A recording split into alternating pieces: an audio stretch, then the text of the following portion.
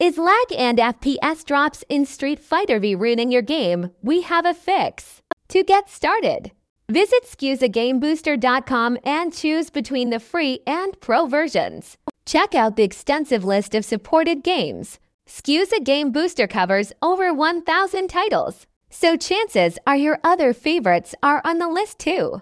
While the free version supports all games, the pro version unlocks additional features. For a more enhanced gaming experience, download the app from the website, locate the installer, and initiate the installation process by following the straightforward on-screen instructions.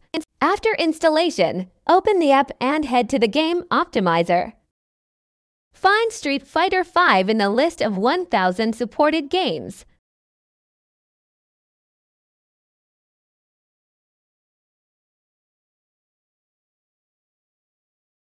Select an optimization mode, such as potato or low, to customize settings. Click Optimize and start Street Fighter V for a remarkable boost in FPS. But hold up!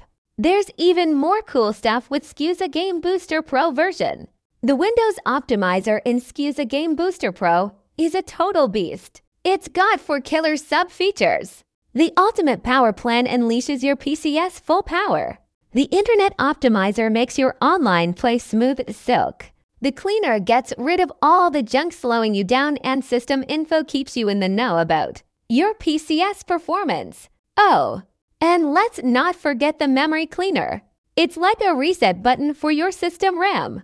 It will free up your RAM with one click. The DLSS3 to FSR3 tool doubles your FPS by converting the DLSS3 games to FSR3 making it compatible with more GPUs. This will make a big difference in how you play your favorite games. And with Game Tweak, you can customize your game just the way you like it.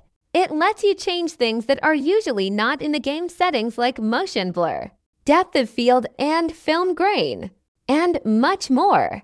Say goodbye to distractions and make your games look and feel perfect for you. And that's how it's done. Keep an eye out for more gaming guides,